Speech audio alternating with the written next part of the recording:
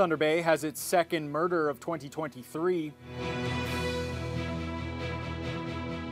Hundreds visit a local warming center over the weekend. And MPs return to the House of Commons.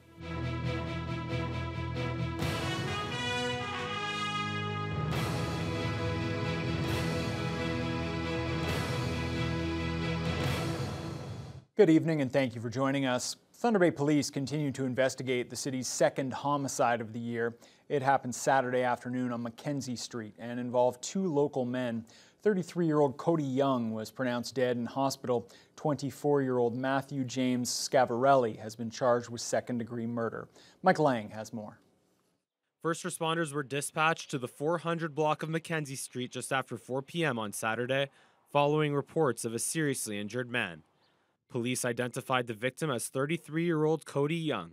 He was rushed to Thunder Bay Regional, but later succumbed to his injuries. Police quickly arrested 24 year old Matthew James Scavarelli and charged him with second degree murder. Detective Sergeant Jason Rybak says both men were from Thunder Bay. It is not drug related. Again, this was uh, uh, two individuals that were known to each other. There was an interaction that occurred between the two of them at a residence. Uh, for all intents and purposes, a fight ensued spilled out to the street, uh, which resulted in Mr. Young's uh, ultimate death. Rybak explained that the altercation apparently began inside Scavarelli's residence on Prince Arthur Boulevard before unraveling onto the streets, and the fatal stabbing occurred on Mackenzie Street near Pruden. Rybak credits nearby witnesses who helped identify the suspect, which allowed for city police to locate and arrest Scavarelli shortly after the incident we get a lot of support from the community with the video, um, dash cam video. We got some dash cam video from uh, an individual in the area. Uh, so it's, it's monitoring that, it's watching the video, you know, generating those reports, generating the briefs, working with the Crown's office on moving the investigation through the court process. But Rybak is equally troubled with this already being the second murder of the new year and the second in as many weeks after 15 homicides in 2022 it's concerning the, the sheer number. I mean, we're, we're getting to, we're meeting with you folks every three weeks at this point to talk about the deaths in the city, and, and uh, we have to do something as a community to, to, to, solve this problem because it's, it's very taxing. Scavarelli was held in custody following his bail court hearing on Sunday as police continue to examine the scenes where the altercation occurred. The next steps in the investigation include a post-mortem and determining the motives behind the incident. Mike Lang, TBT News. More than half a million dollars in cocaine has been seized and three people arrested following a three-month investigation by an OPP-led guns and gangs team. Three search warrants were executed in Thunder Bay on January 19th. Officers with the OPP, NAPS, Anishinabek Police, and the Thunder Bay Police seized 3.7 kilograms of cocaine, $50,000 in cash, and a vehicle. Two 29-year-old men from Toronto and Mississauga, as well as a 32-year-old from Quebec, remain in custody. Thunder Bay OPP dealt with a number of crashes this morning, largely due to the frost and ice that developed on local highways during the overnight deep freeze. At least five vehicles slid into ditches, and there was a multi-vehicle crash on the Thunder Bay Expressway. That happened sometime before 10 o'clock between Oliver Road and the Harbor Expressway. OPP say at least three vehicles were involved, forcing the closure of both southbound lanes. Fortunately, there were no serious injuries reported, and the expressway fully reopened around 11 o'clock. Meanwhile, OPP have now released details about a serious crash Saturday morning on the Steel River Bridge near Terrace Bay. A transport and an SUV collided, killing a 64 year old in the SUV. Another person was taken to hospital with minor injuries. The highway was closed for most of the day Saturday as OPP investigated. The extreme cold warning issued by Environment Canada continued in Thunder Bay today with the wind, wind, chill dropping to minus 36 this morning. The recent cold temperatures led to a busy weekend at local warming centers, including at Pace, which saw a large number of people in need of shelter this weekend. Between Saturday morning and Sunday afternoon, the Warming Center on East Victoria Avenue saw more than 300 people come through its doors, with many dropping in more than once. Executive Director Georgina McKinnon says they were prepared in advance of the cold snap for the high demand. McKinnon insists they do have enough supplies to keep people warm, fed, and comfortable thanks to the generosity of the community.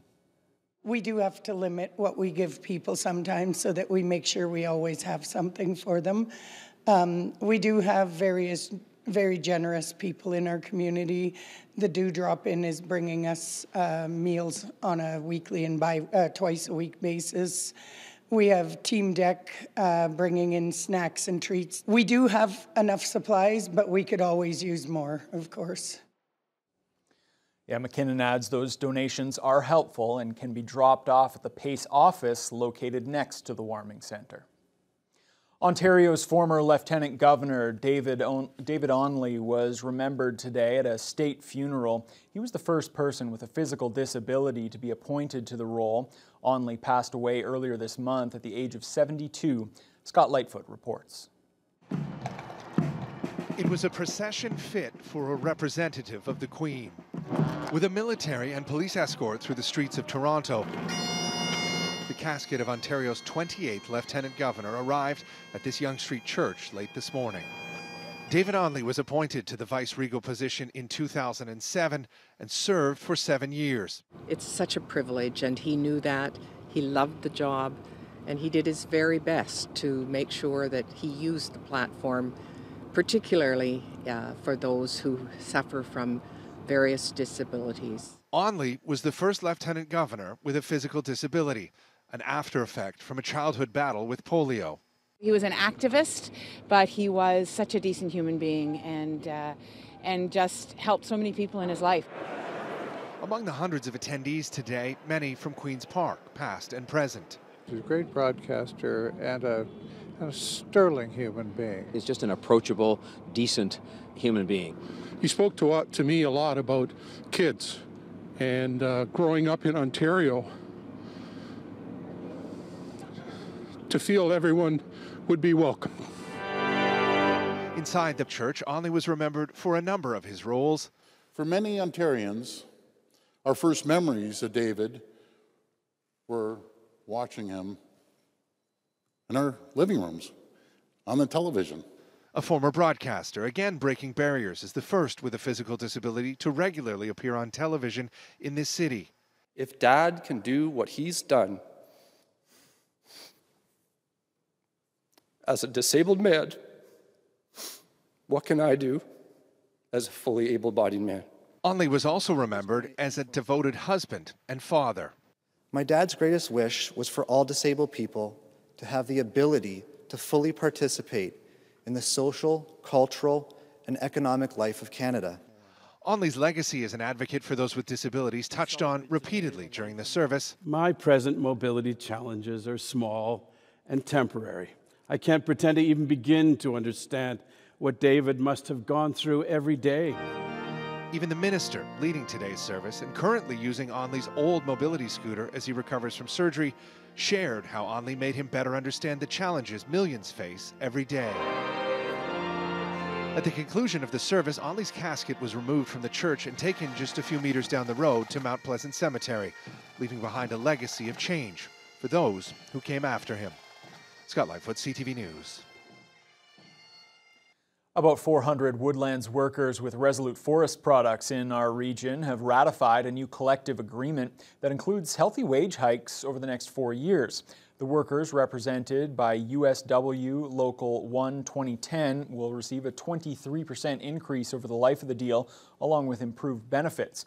Votes were held in Ignace, Dryden, and Thunder Bay, with more than 75% of members in support of the deal. Well, the Ford government is providing more than $68,000 to the Female Border Collective for two internships at the Cinema 5 skate park. Local MPP Kevin Holland was on site to make the announcement this afternoon. He says the skate park is a great project for the government to invest in. It uh, really is giving something for our community, the, the youth in our community to get involved in. It helps them to stay active uh, during the winter months when normally their sport wouldn't be able to, they wouldn't be able to practice their sport because of the winter conditions. This funding is in addition to $58,000 provided by the Northern Ontario Heritage Fund last year, which helped cover 95% of the skate park's construction. The new funding will allow the nonprofit to hire a park project officer as well as a project coordinator, coordination officer. Board member Sterling Downey with the Female Border Collective says the funding will also help provide more youth programs at the skate park and other after school programming as well. Between the two programs, one will be using the skateboarding for the kids who want to skateboard, but also using skateboarding to bring kids in to other activities and other interests. So somebody might be interested in skateboarding but not be great at skateboarding, but maybe they want to do a magazine, maybe they want to interview skateboarders, maybe they want to manufacture skateboards, maybe they want to make t-shirts. So all of this stuff is going to help them look in terms of entrepreneurship, inclusion, building ideas, and, and basically at the end of the day, just building self-confidence. Downey adds it's all about making the Cinema 5 skate park as accessible and inclusive as possible. Canada is dealing with a major pilot shortage. The number of pilot licenses issued in the country has decreased by more than 80% since 2019, according to NAV Canada. Furthermore, the post-pandemic travel surge has created even more demand for flights. So to help address that, Confederation College's aviation program is giving young pilots the opportunity to make the jump to the airlines at a faster rate than ever. Mike Lang explains.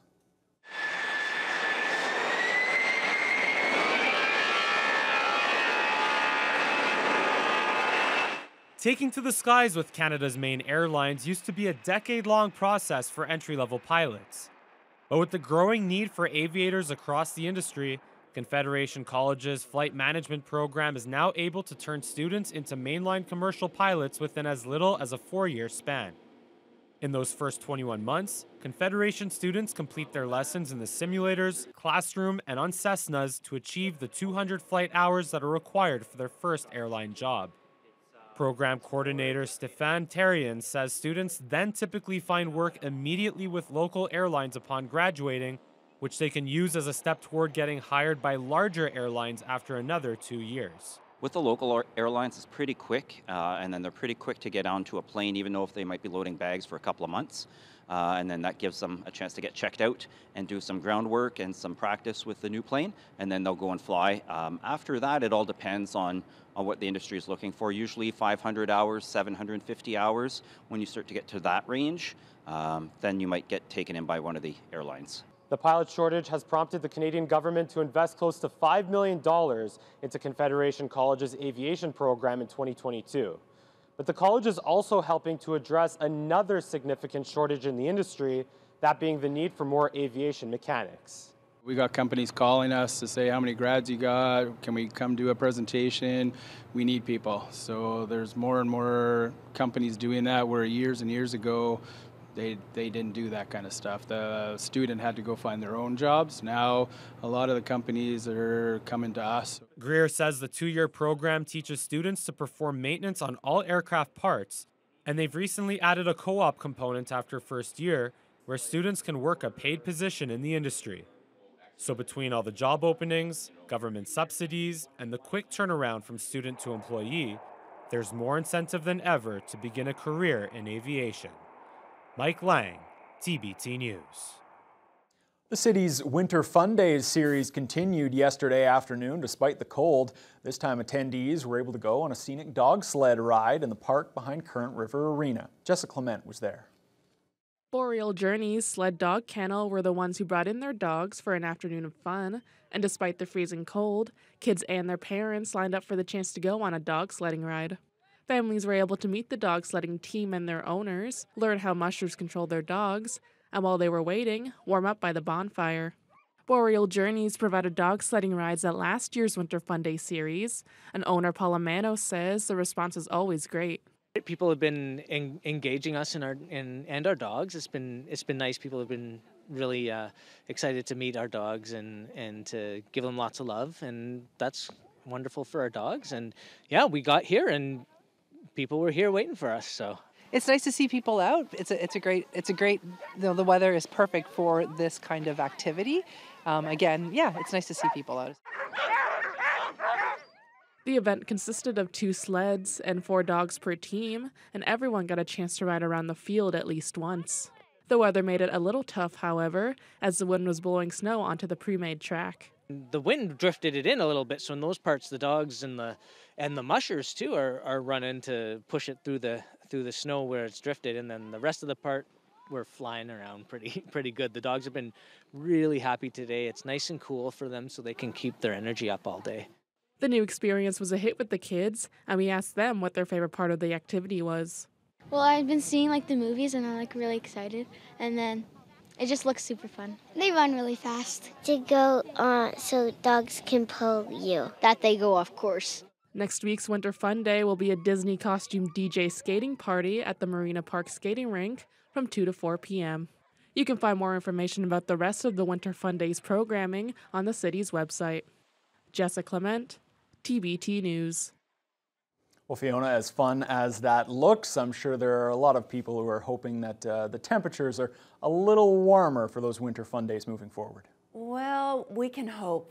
it certainly is not looking good thus far, considering uh, it just has been getting progressively cold, colder each day throughout the weekend and kicking off uh, the new week in what could only be referred to as brutally cold. Because as we heard earlier in the newscast, uh, we did hit wind chills of minus 36 overnight and uh, stayed pretty close to that in the early morning hours. We did warm up to a high of minus 18, but that's actually a little closer to what we should be seeing at nighttime. And with winds gusting up to 41 kilometers per hour from the west, wind chills have been hovering around minus 29 this afternoon in the city uh, under mostly to partly sunny skies. Now, uh, actually minus 18, that's pretty much one of the milder locations in the region, unfortunately. To the west in Fort Frances, they saw wind chills hit minus 44 overnight. It has been warming up all day. They are currently at their daytime high of minus 21 and a wind chill of minus 30. And that trend continues up into Kenora, Dryden, and up into Red Lake, where they've been having a drifting snow with all the wind. They too have a wind chill of minus 30 at this hour. Eastward into Sioux Lookout and Armstrong, they're at minus 22, minus 26 in Greenstone. They saw wind chills hit minus 43 last night, so brutally cold there. Right now, the wind chill is hovering around minus 35. Now, along the North Shore, similar temperatures, minus 20 in Nipigon, minus 19 in Marathon. Sault Ste. Marie has seen their temperatures uh, drop uh, for much of the day. They're currently at minus six and uh, a low of, or sorry, minus six and a wind chill of uh, minus 13 at this hour. Now, for the city of Thunder Bay, the extreme cold warning continues as it does for most of the region. We're going to drop down to a low of minus 26 and wind chills are going to hit minus 35 overnight under clear skies. And unfortunately, the uh, cold temperatures are going to continue. We've got very cold air through uh, the north, northern states and into Ontario and Manitoba.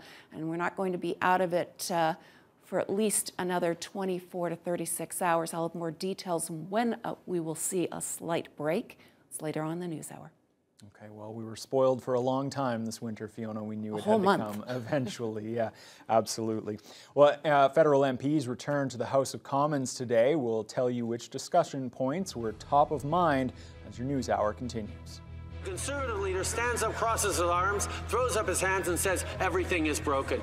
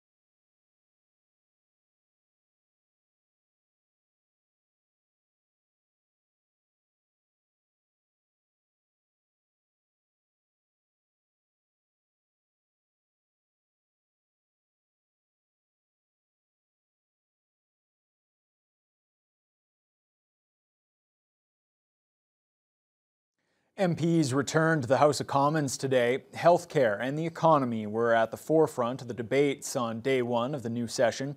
Annie Bergeron Oliver has the latest from Ottawa.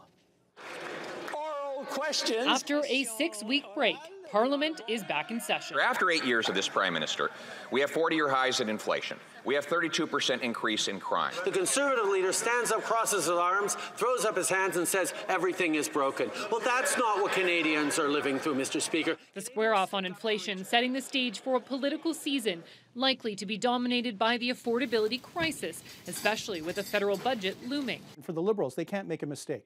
Because if they make a mistake on the one side, they'll have Pierre Poilievre pick up support. And then if they don't do enough, they'll be facing Jagmeet Singh and the New Democrats, who you know will put the squeeze on the Liberals to help and to spend. Healthcare also a major priority. Next week, the premiers will be in Ottawa to meet with the Prime Minister and hopefully hammer out deals on healthcare and a funding increase. The fundamental thing that we want to see in this deal is that we solve the healthcare pro- crisis that we're in, and the deal will be a failure if it doesn't include major commitments to hire more healthcare workers. Half of Canadians are struggling to find a family doctor, and about 6 million do not have one at all. Catherine Thompson is one of those statistics. For the last six years, she's been driving at least an hour and a half to see a doctor because she can't find one in her home city of Oshawa. It would be much easier to have care nearby and build that relationship with your family physician that we're just not able to do because we can't find that access to care. In a statement issued today, the premiers reiterated their expectation that the federal government increase health transfers to 35%, despite indications that the prime minister isn't looking for a one size fits all approach. Annie Bergeron Oliver, CTV News, Ottawa. The World Health Organization says COVID 19 continues to be a public health emergency of international concern. In the past eight weeks, more than 170,000 people have lost their lives to COVID 19. The head of the UN Health Agency says COVID 19 is probably at a transition point, but remains a dangerous infectious disease. It also continues to pose a threat to personal health and healthcare systems. The organization says it's hopeful the next year will see a reduction in hospitalizations and deaths.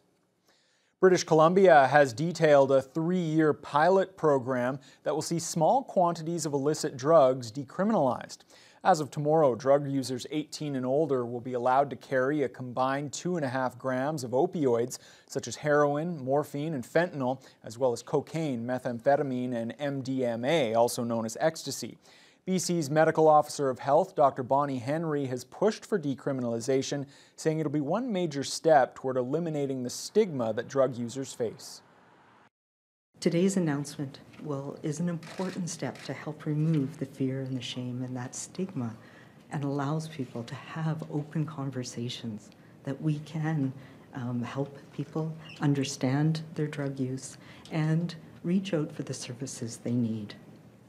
We hope this will help people feel safer about getting those life saving services and programs and talking to their friends, talking to their healthcare provider, and help our healthcare system in keeping people alive and connected to the health and social supports they need.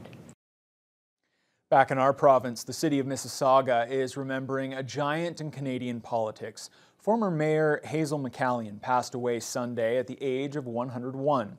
Known affectionately as Hurricane Hazel, she served as the city's mayor from 1978 until, 19, until 2014. Sean Leathong reports. Writing a message to remember Hazel McCallion, many residents lining up to sign a book of condolence in Mississauga City Hall. My family uh, immigrated to the first place we came to since immigrating to Canada was Mississauga. And um, growing up, Hazel was my mayor from childhood till my university years.